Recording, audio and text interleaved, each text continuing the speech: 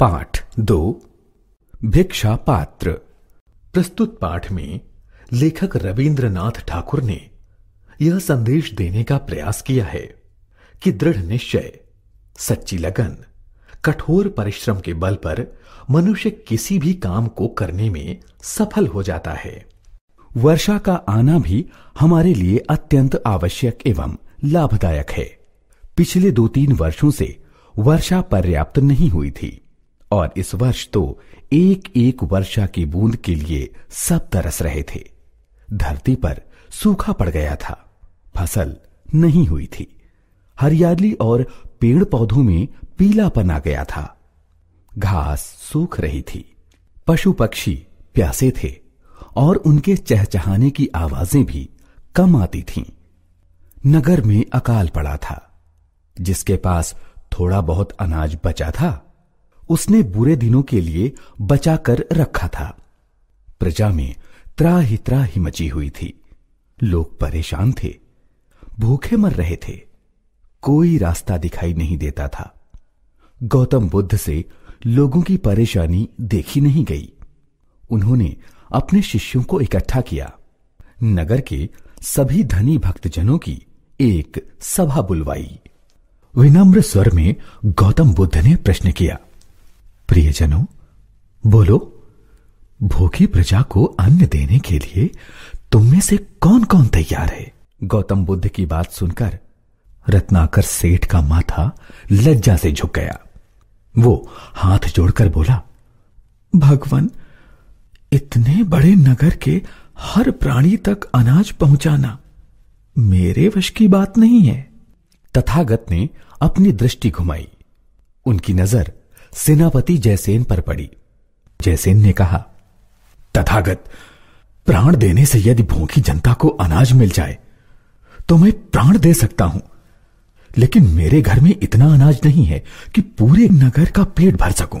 तभी धनी धर्मपाल बोला, भगवान, मैं तो पहले ही भाग्य का मारा हूँ। वर्षा न होने के कारण मेरे सारे खेत सूख गए हैं, जो थोड़ा अनाज बचा है। उससे अपने परिवार का भी आधा ही पेट भर पाता हूँ। मुझे तो इस वर्ष का कर देने की भी चिंता है। सभी एक दूसरे का मुँह ताक रहे थे। तभी भीड़ में से अचानक एक युवती सामने आई। वो थी भगवान तथागत के प्रिय शिष्य अनाथ पिंडद की बेटी सुप्रिया। वो अत्यंत दुखी लग रही थी। आँखों से बहते अश्रु पोछकर उसने बुद्ध देव के चरण छुए और मीठे स्वर में बोली, भगवान, यह तुच्छ सेविका आपकी आज्ञा का पालन करेगी। अन्न की कमी के कारण जो लोग बेहाल हैं, वे सब मुझे अपनी संतान लग रहे हैं।